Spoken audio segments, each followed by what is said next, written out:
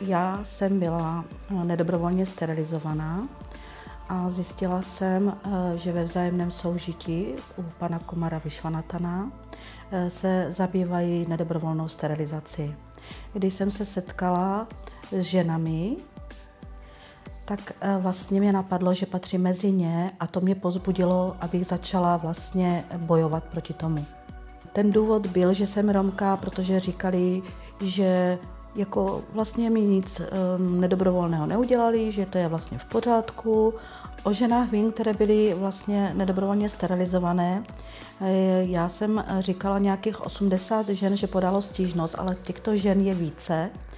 A tím pádem by se narodilo určitě i více dětí, e, kdyby se tomu nestalo, té nedobrovolné sterilizace, nejméně tak 500 dětí by se narodilo.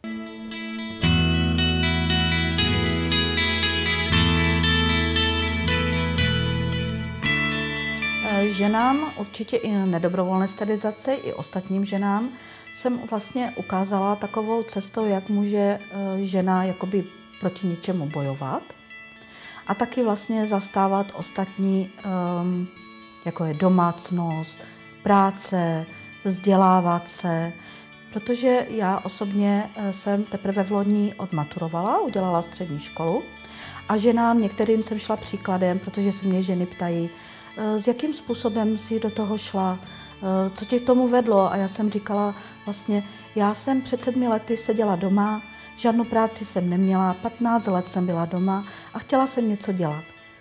Tak jsem si vlastně našla školu, našla práci a do toho vstoupila i ta nedobrovolná sterilizace, kde jsem se vlastně začala zajímat.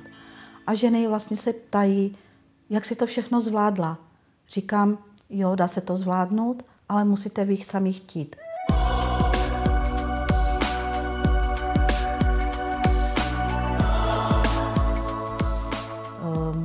Krát děkuji těm, kteří mě vlastně vybrali. Eh, jsem vlastně moc ráda, že můžu být jako romská žena, podotýkám jako romská žena, někde eh, prostě nominovaná, a že budu někde viděná, že se někde tohleto bude dále propagovat, že mě někdo uvidí. Eh, jsem moc na to hrdá.